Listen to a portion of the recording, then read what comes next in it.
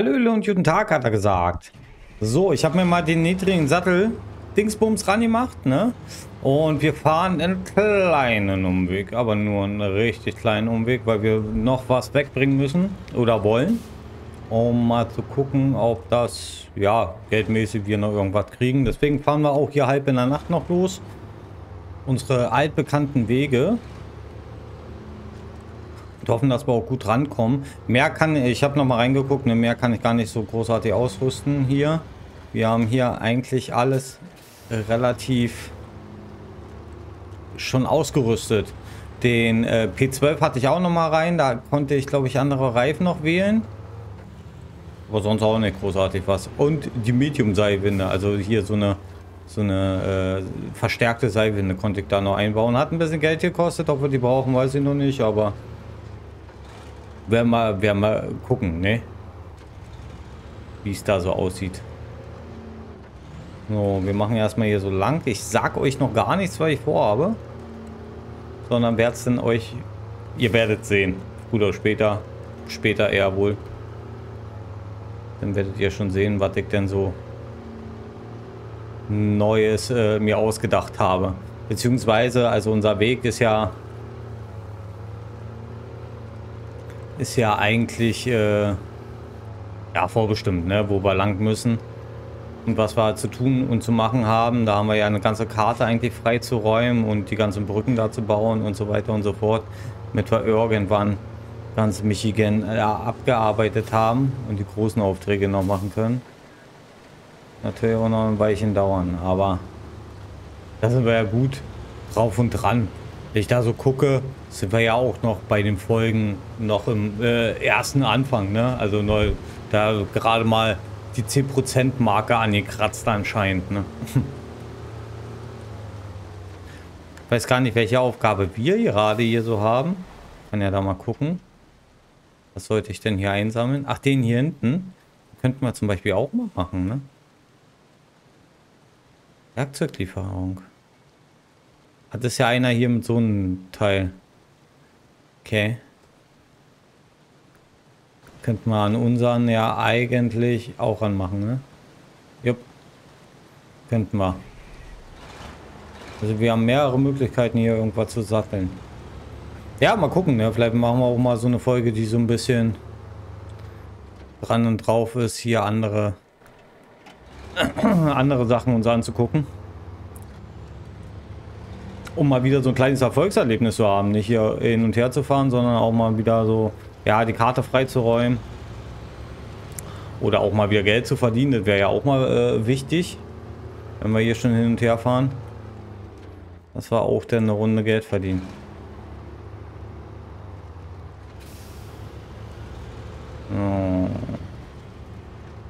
Ganz nach hinten durchfahren wäre ja gar nicht so schlimm eigentlich. Aber wir wären denn bei Drummond. Ich weiß jetzt nicht, ob bei Drummond denn ein äh, Dings wäre. Ähm, siehst du, das könnten wir eigentlich mal gucken, ob wir bei Drummond Iceland... Da haben wir gar keinen Anhängerladen, ne? Wir kommen hier hinten raus, da haben wir nichts und hier hätten wir auch nichts. Zumindest nicht sichtbar. Ich weiß nicht, was hier oben denn Schönes noch drin ist, aber wirkt jetzt nicht, ob hätten wir da irgendwas.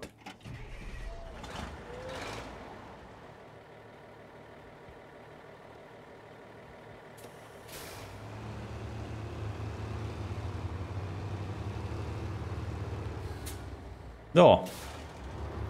Wir machen ja links rein. Ihr werdet schon ein wenig ahnen können. Genau, ich will mir nämlich hier das Holz nämlich mitnehmen.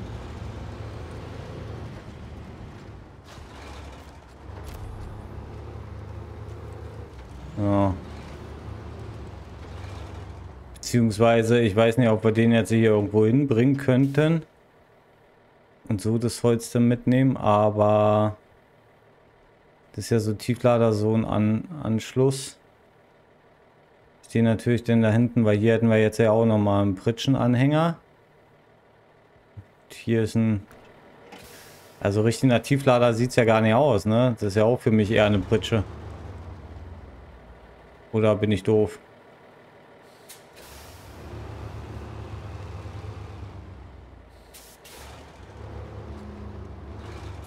Für mich sieht es drunter wie eine Pritsche aus, ne? Eine andere, aber... Können wir das jetzt hier anhaken? Achso. Direkt die falsche wieder gedrückt.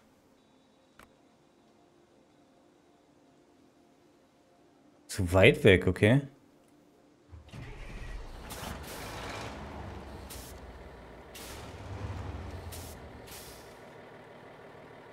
Ich denn so beschissen heute? Anscheinend schon.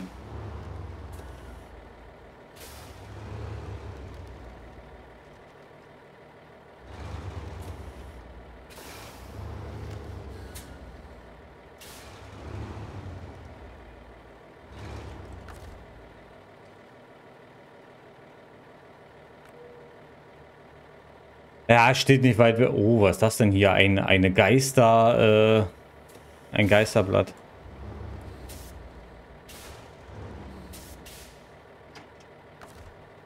Netze, ne? Ah.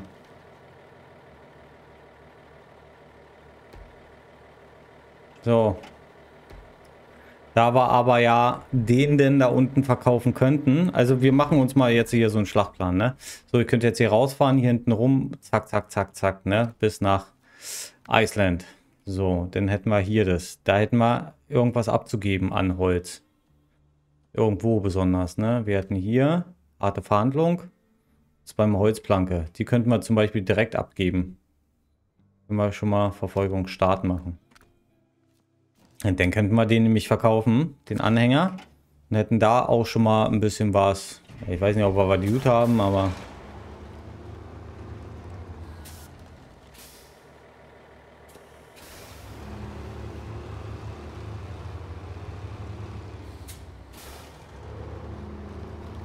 So, ich habe ja letztes Mal so eine, so eine Wendemanöver irgendwie gelernt.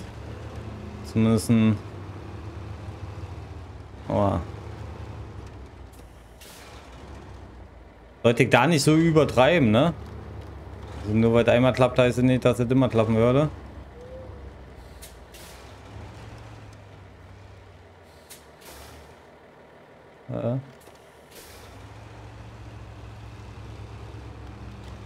Mal, jetzt drehe ich mich so rum. Aha.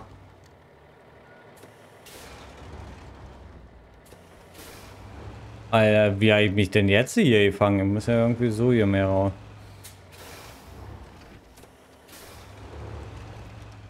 Alter Späte, ne? Ich müsste mich ja... Hm, ne, das nervt mir ja schon wieder. Ich müsste mich ja irgendwie hier so rausziehen können.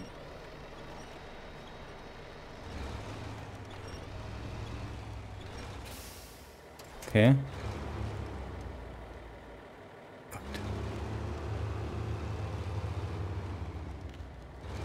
Also jetzt richtig Spaß gemacht hat nicht gerade, finde ich.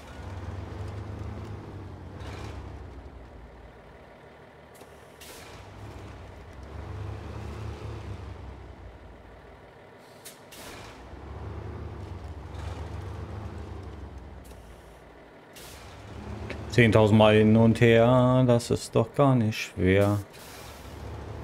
Wendekreis wie ein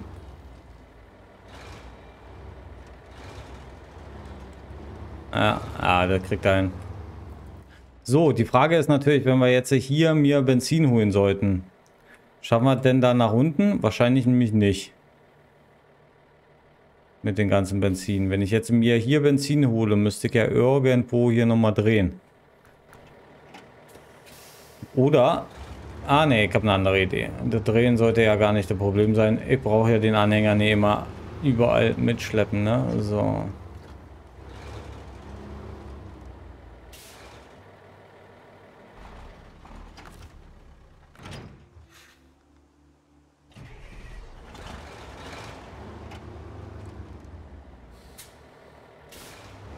Ja, dann kommen wir nämlich auch so an Zielen, dann ist das alles ganz gut. Können wir uns hier nochmal ein bisschen voll tanken. Hätte auch fast schon rückwärts fahren können, das Ganze.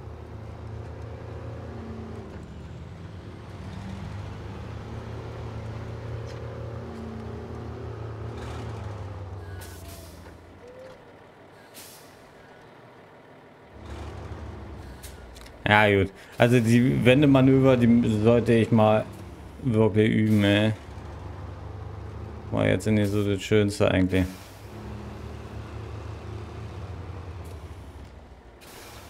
Aber man hat auch das Gefühl, dass man wenig Kontrolle hat hier beim Wenden, ne?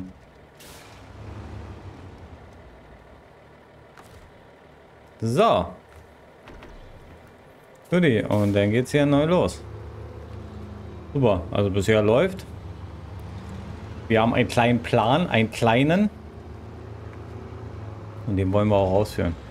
Ich denke mal, da unten durch könnte ein bisschen lustig werden. Jetzt auch mit den Anhängern hier gleich die Büschung runter zu machen. Könnte auch ein bisschen lustig werden. Aber das sollten wir eigentlich relativ, relativ gemächlich hinkriegen.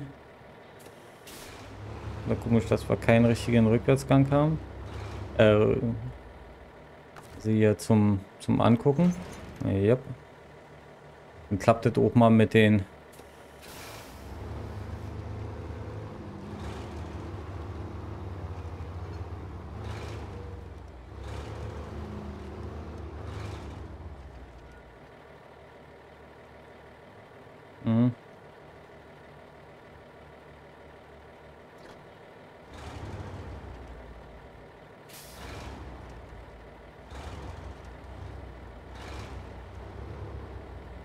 Ja, merkt also, heute bin ich eine, eine gute Nummer konzentriert. Ja. Weil ich äh, jetzt hier auch mich nicht wegeulen möchte oder so.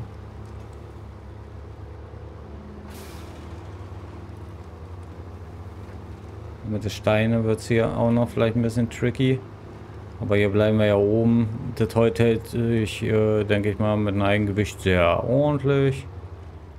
So, wir müssen da denn ausscheren. Okay, das kriegen wir hin. Das Gewicht wird aber mich hier versuchen, ein bisschen runterzuziehen, ne? Ja, ihr merkt das schon.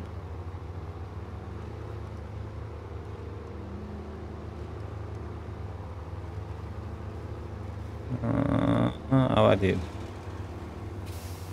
Für die.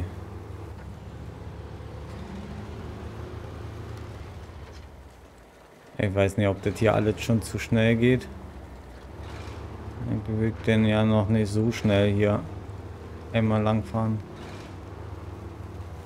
Aber das geht noch hier, ne? Wir kommen jetzt hier von der Seite, da sind wir ja schon mal hoch. Weiß zwar jetzt nicht mehr richtig mit welchen Gefährten, ne? Aber auf jeden Fall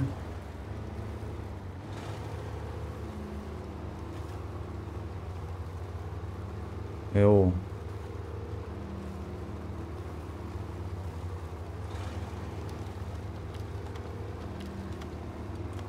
Ist das hier ein ordentlicher... Jo, schön, schön, schön, schön.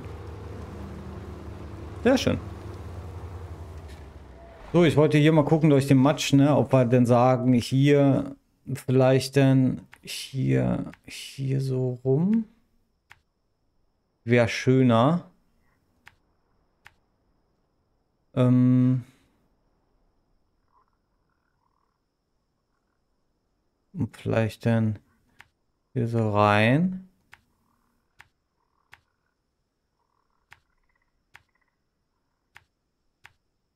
Weiß ich ja nicht, ob das denn so ein besserer Weg ist, ne?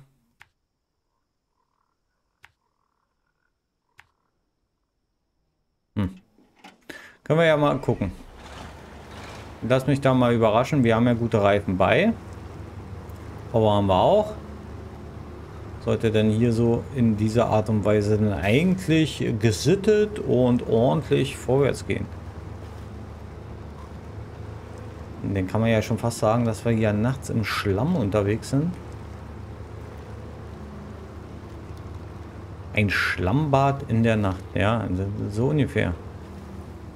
Hm? Ah.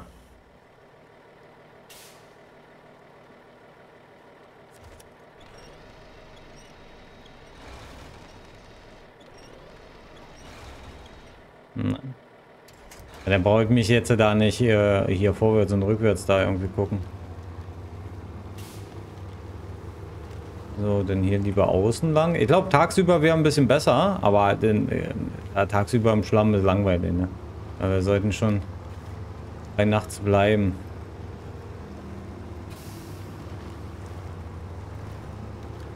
Ich weiß nicht, ob der besser ist als die Straße. Da werdet ihr, denke ich mal, mehr Erfahrung haben. Als wenn ich jetzt hier vielleicht mir noch so einen Weg ausmache. Jetzt fahren wir ja ein bisschen Straße, jetzt sehen wir es ja gleich. Inwiefern hier die, dieser Matschweg denn da cool ist oder wäre. Ja, ja, ja, ja. Ja. Das sieht ja okay aus.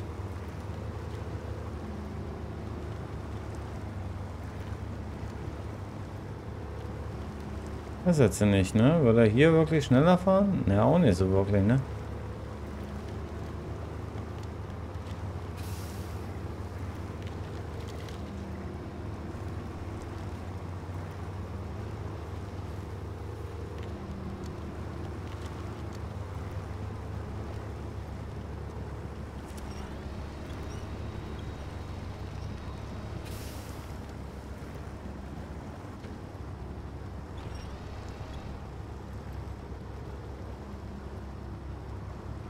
Also hier scheint es denn ja richtig matschig zu sein.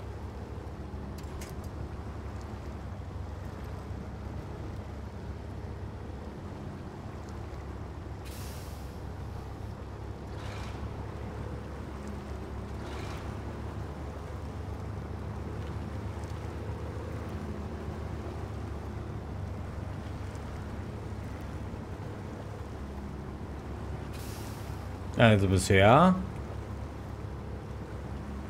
Geht so, ne?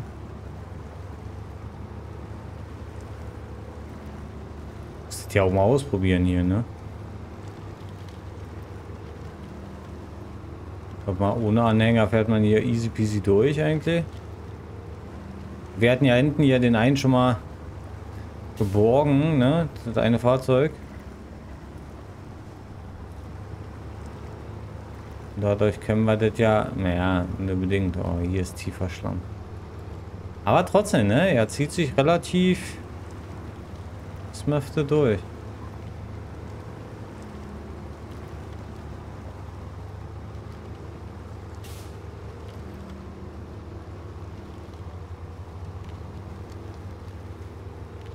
Bin echt begeistert von denen. Ach, der war denn schon hier.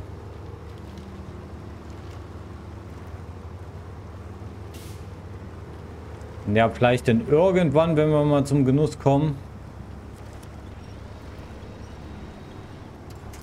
Ähm, werden wir den Weg dann fahren und dann sehen wir ja dann die Unterschiede, ne? Wissen das oder vielleicht kennt ihr ja auch die Unterschiede. Wird bestimmt ja einer schon mal ausprobiert haben, in irgendeiner Art und Weise. Kann dann genau dann sagen, inwiefern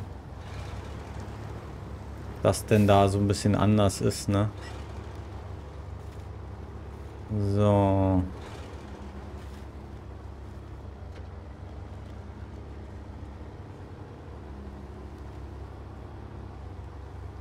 Ja, das ist aber auch mal ein mega tiefer Lamm hier, ey. Meine Güte. Ist das Flamme.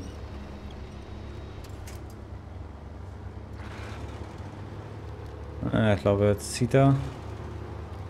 Ah, jetzt haben wir, glaube ich, geschafft. Jetzt haben wir noch eine coole, denke ich mal, vor uns.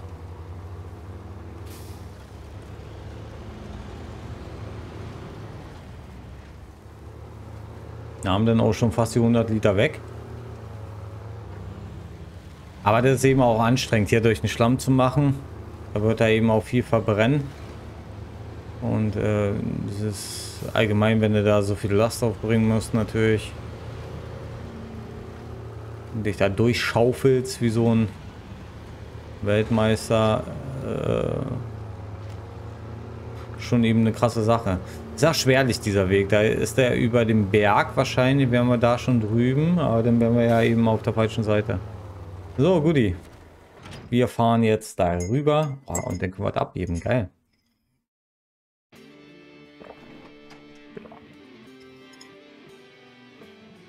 So. Und dann gucken wir gleich, ne? Wir haben ja den hier. Ich markiere mir das nämlich. Und dann können wir das hier oben abheben und dann ist schon geil. Auf geht er.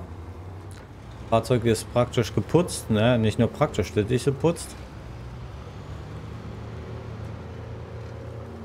Jetzt hatten wir mal unser Holzplanken dahin. Und dann sollen sie schon mal das erste da fertig bauen. Und sind wir schon mal ein Riesenstück weiter.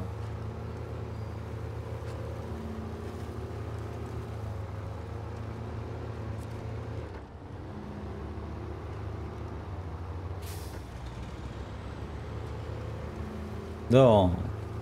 Zicke zacke links rum. Zicke zacke rechts rum. Naja, ich jetzt frage so, also auf Knacks war andersrum und da war der Frauen links und rechts. Ne? Also, muss mir auch mal an sowas dran gewöhnen. Am meisten kenne ich die Worte hier Dingsbums oder da lang. Das sind die besten Beschreibungen, die ich mein Leben lang in den letzten Jahren immer genießen darf von, äh, von der Herzensdame.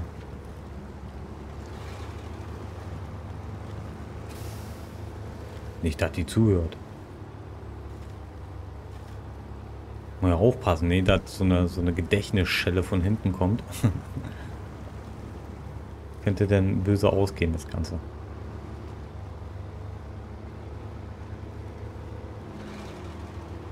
So, 93 Liter, langsam kriege ich Angst. Aber geht noch, ne? Relativ ist noch in Ordnung. Das Ganze. So. Wurde mal fertig. Dankeschön. Eine gute. Geil. Und wir haben mal wieder was verdient. Das ist schön. Schön, schön, schön, schön, schön. Haben wir gut hingekriegt. Wir können uns hier noch voll tanken. Das ist eben auch ganz gut. Der verlassene Bohrplatz. Hier ist, denke ich mal, eine Aufgabe. Ich will noch gucken, was es hier noch sonstiges gibt. Hier haben wir ja unsere großen Aufträge hier. Äh, genau, das hier ist der eine, das brauchen wir nicht. Rostiges Erbe, das ist das andere. Konzernwachstum. Müssen wir da welche hinbringen. Wir haben aber, ich wüsste gar nicht von wo wir, ach da, von da hinten müssen wir da was hinbringen. Das geht aber noch. Können wir hier wirklich außen rumfahren. Holzplanken, Toni. Und wir haben ja schon jetzt hier den einen Anhänger. Das heißt eigentlich, wenn wir den verkaufen, hier den Anhänger nehmen, den Pritschen Auflieger, dann könnten wir das ja auch eigentlich transportieren. Das werden wir auch so machen, ne? Oder fahren wir hier hinten lang? Ja, waren wir ja auch schon mal. Wenn ich jetzt hier so ein bisschen links fahre, dann könnte ich das ja eigentlich auch gleich machen, ne? Wie viel müssen wir denn machen? Zwei? Oh ja. Ich glaube, das machen wir als nächstes, weil dann machen wir hier so eine kleine Tour. Das ist ja jetzt hier nicht so schlimm. Hier können wir ein bisschen rückwärts fahren.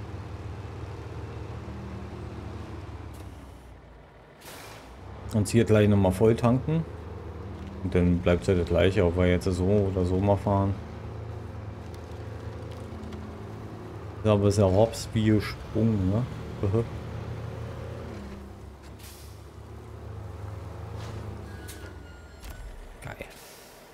So. Hier haben wir natürlich auch ordentlich ein paar Liters drin.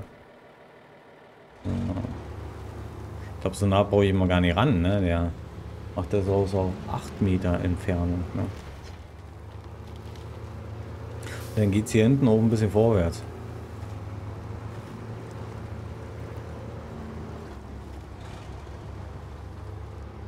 Aber der Weg ist schon ein bisschen... Da müssen wir eh nach rechts.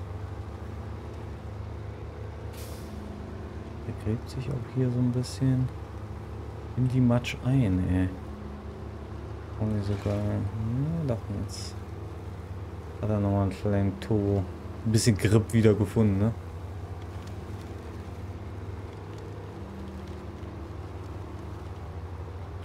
Dass ich da hinten vorbeikomme, ich dachte, bleibt da am Boom hängen, ne? Das haben wir dann doch irgendwie geschafft. Also, ne?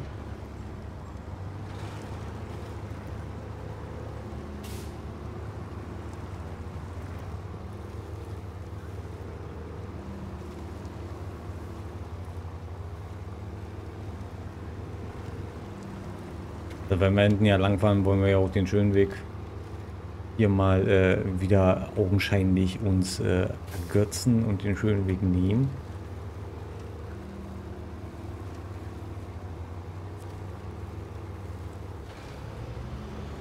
Das ist ja auch nicht so schlimm. Gehe zumindest mal nicht von aus. So.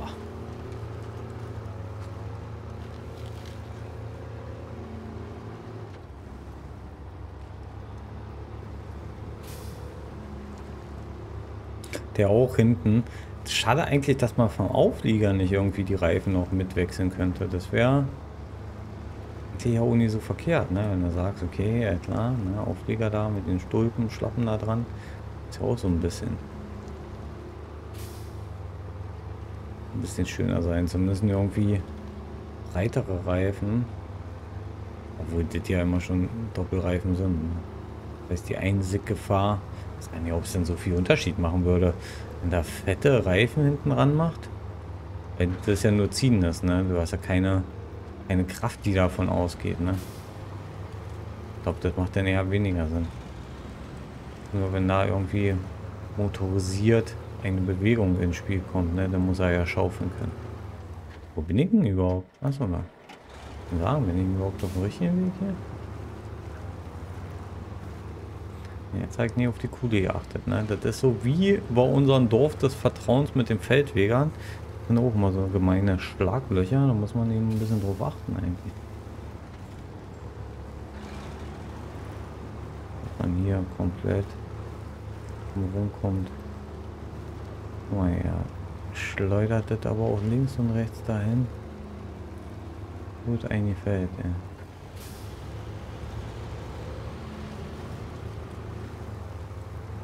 Ja, wir wollen ja den Weg mal machen. Will auch mal hier so ein bisschen ein paar Minuten mal länger spielen, ne?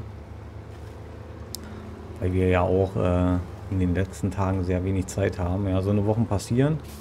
Ich denke mal, jetzt sieht es wieder ein bisschen besser aus. Nach Zeit her. Ja, auch nicht mein einziges Let's Play, warte, das ist mein Main Let's Play, ne? Geworden jetzt, muss ich sagen, in den letzten drei Monaten. Ähm, aber ich habe natürlich auch andere Projekte, die ich gerne spielen möchte weil ich eben Bock drauf habe und äh, ich spiele ja eh nur das, was mir Spaß macht. Und da wollen wir mal gucken. Also ich hätte auch nie gedacht, dass das so viel Spaß macht. Ich bin ja eigentlich von Shipbreaker, von so einem Weltraum-Zerlegespiel hier hingekommen, weil ich dachte, vielleicht begeistert mich das auch. Ne? Und ich muss sagen, das begeistert mich sehr.